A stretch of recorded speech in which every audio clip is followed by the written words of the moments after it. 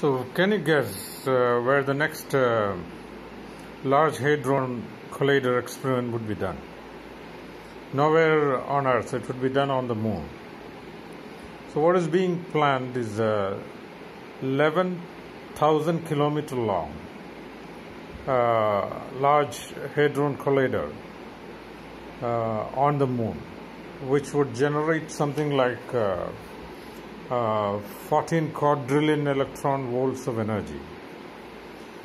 Now, the after the Large Hadron Collider at CERN, which uh, was something like uh, 30 kilometers long, what is uh, planned on Earth is a future uh, circular collider, which would be 100 kilometers long. But then this is nothing compared to the 11,000 kilometer long Hadron Collider, which is planned to be located on the moon and uh, which is expected to generate uh, 14 quadrillion electron volts of energy, which is something like 1000 times the LHR at uh, CERN. So let's wait with fingers crossed for the Hadron Collider on the moon, which will generate uh, 14 quadrillion electron volts of energy.